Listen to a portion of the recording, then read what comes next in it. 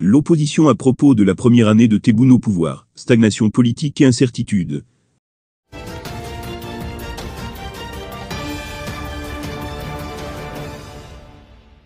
Zoubida Assoul, avocate et présidente de l'Union pour le changement et le progrès, UCP, parle d'une année des échecs.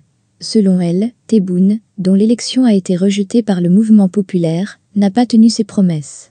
Une année après son élection à la tête du pays, la classe politique et des observateurs de la scène nationale soulignent que l'Algérie n'a jamais été aussi exposée à toutes les incertitudes. Atman Mazouz, secrétaire national à la communication du RCD, affirme qu'en une année du mandat du chef de l'État, le pays a connu les pires régressions. Le pouvoir de fait, lui, a fait emprunter au pays le sens inverse de l'histoire des développements des nations. Atteinte aux libertés par la criminalisation de l'action politique, instrumentalisation des appareils judiciaires et sécuritaires, faillite économique, régression sociale, et le bilan est catastrophique à tous les niveaux, tranche M. Mazouz. Le parti dirigé par Mossine Belabas pense que durant cette année, le pays est un bateau sans commandant, où les intérêts claniques pour le maintien du système sont une priorité au détriment des intérêts de la nation.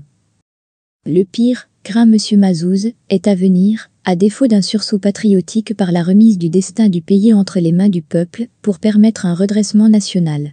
Le FFS dresse un bilan tout aussi négatif pour le plus vieux parti de l'opposition, une année après l'élection présidentielle imposée d'une manière unilatérale au peuple algérien, le pays n'a jamais été aussi exposé à toutes les incertitudes.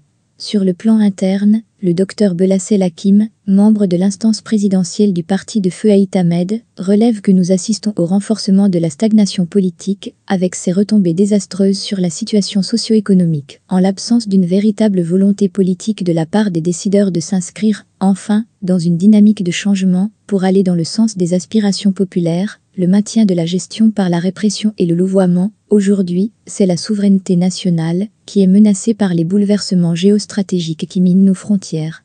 Zoubida Assoul, avocate et présidente de l'Union pour le changement et le progrès, UCP, parle d'une année des échecs. Selon elle, Tebboune, dont l'élection a été rejetée par le mouvement populaire, n'a pas tenu ses promesses. Les limites de la gestion politique. Il n'a tendu la main ni au Irak ni à l'opposition, et il a initié unilatéralement l'amendement de la Constitution en restant en ligne droite, avec le système en place. Un système qui depuis 1962 n'a pas respecté les différentes constitutions, souligne l'avocate. L'autre échec est le référendum dont le verdict était sans appel, avec 77% du corps électoral, qui ont dit non au projet proposé par Tebboune. Depuis son arrivée à la tête de l'État, le pays a connu, note Madame Assoul, une escalade de répression, avec un harcèlement judiciaire continu contre les militants du Irak, de l'opposition et des partis politiques. En matière de liberté de la presse, elle précise que cette année a été marquée par la mise sous contrôle judiciaire, ou encore l'emprisonnement de journalistes, la censure de plusieurs médias électroniques et la soumission de l'activité en ligne à une autorisation du ministère de la Communication. La présidente de l'UCP rappelle la phrase de phare de Tebboune concernant notre système de santé. L'Algérie, a-t-il dit, a le meilleur système de santé en Afrique, mais en tombant malade, Tebboune est évacué à l'étranger et la première année de son mandat se termine, sans sa présence dans le pays. La communication sur son état de santé laisse à désirer, sans oublier la gestion catastrophique de la pandémie du Covid-19. Un énième échec. Abderrazak Makri du MSP estime que nous sommes dans la continuité et a évoqué un recyclage du système qui recourt aux mêmes pratiques. Une année après l'élection du 12 décembre, le constat est presque unanime chez non seulement l'opposition politique, mais aussi les acteurs du Irak et les défenseurs des droits de l'homme. Le pays n'a pas fait beaucoup de progrès vers le renouveau escompté. Pour certains, la maladie surprise du président pourrait même signifier un retour à la casse départ. Hakim Haddad, militant politique et ancien président du Rassemblement Action Jeunesse, Rage, note qu'une année après le simulacre de l'élection présidentielle, c'est l'échec. Cette élection ne lui a pas permis d'avoir une légitimité. Depuis, nous avons eu des détenus d'opinion par centaines. Une presse indépendante suspendue ou interdite. Des associations, partis, syndicats et forums citoyens réprimés et empêchés d'activer. Et comme un retour à la casse départ, une si longue absence du chef de l'État. En fait, à part la forte répression et une gestion chaotique et aléatoire de la pandémie, rien de nouveau n'est à signaler, estime Haddad. Fersaoui, président de Raj, ne dresse pas un bilan de Tebboune, mais de celui du régime qu'il a imposé. Le choix de la solution constitutionnelle à la crise politique profonde du pays imposée par le pouvoir a montré une nouvelle fois ses limites. Nous sommes revenus à la case départ, notamment avec la maladie du chef de l'État dont l'information et la communication sur son état de santé ont été très opaques.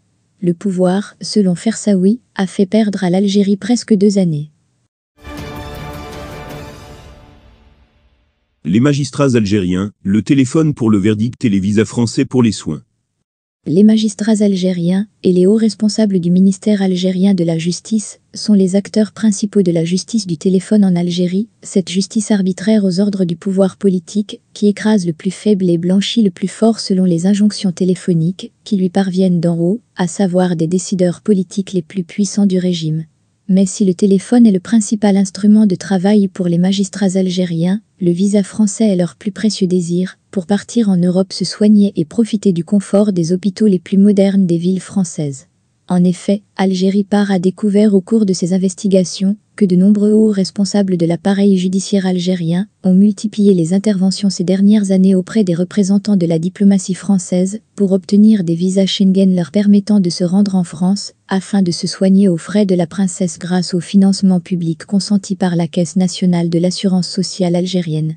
En avril 2018, l'ancien présidente du Conseil d'État Soumia Abdel Sadok est intervenue en personne auprès des services du Consulat général de France à Alger pour demander un traitement de faveur au profit de son chef de cabinet Mokhtar Remadenia, qui avait demandé un visa Schengen pour des soins qualifiés d'urgents en France des soins naturellement financés par les deniers de la Caisse nationale de l'assurance sociale et ce haut responsable du Conseil d'État, une autorité judiciaire installée en 1998 pour étudier les recours en annulation formés contre les décisions réglementaires ou individuelles émanant des autorités administratives centrales, ainsi que des recours en interprétation et en appréciation de la légalité des actes délivrés par diverses institutions étatiques algériennes. En mars 2017, les autorités de la Cour suprême à Alger ont intervenu à maintes reprises auprès de l'ambassade de France à Alger pour réclamer la délivrance d'un visa pour des soins médicaux à Foulan Mohamed, conseiller à la Cour suprême. Selon les investigations d'Algérie Par, ce dernier était gravement malade et devait se rendre en France pour subir une intervention chirurgicale au niveau du cœur dans le cadre d'une prise charge totale de la CNAS. Ce conseiller à la Cour suprême avait réclamé un visa de circulation de 5 ans, mais les services du Consulat général de France lui ont délivré un simple visa de 90 jours valable sur une période de 6 mois.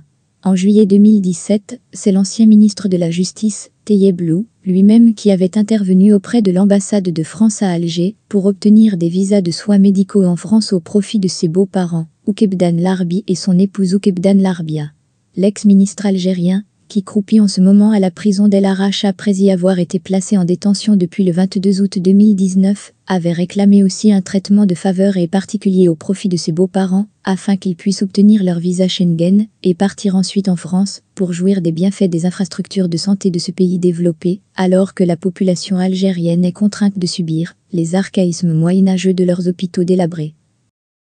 En juillet 2018, le président du Conseil constitutionnel, Mourad Medekli, qui présidera cette institution juridictionnelle stratégique en Algérie jusqu'à sa mort en 28 janvier 2019, est intervenu lui aussi auprès des services consulaires français pour réclamer la délivrance d'un visa médical et touristique au profit de sa fille et son époux, Atta Breda accompagné de leurs deux filles mineures.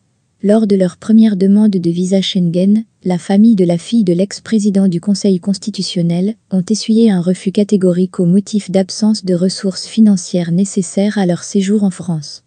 De nombreux autres responsables des institutions judiciaires et juridictionnelles algériennes n'ont pas cessé ces dernières années d'abuser de leurs fonctions et pouvoirs pour négocier avec les autorités françaises des titres de séjour ou des visas Schengen pour pouvoir voyager en toute liberté et savourer la modernité de l'Occident notamment des plus prestigieuses villes françaises, alors que la population algérienne est accablée de jour comme de nuit par le sous-développement crasseux de leur pays un sous-développement qui s'explique aussi par l'absence d'un état de droit capable d'offrir une chance à tous les Algériennes et Algériens de s'épanouir dans leur propre pays, sans que leurs droits élémentaires ne soient bafoués par l'arbitraire. Abonnez-vous à notre chaîne. Cliquez sur la cloche pour rester au courant de l'actualité algérienne.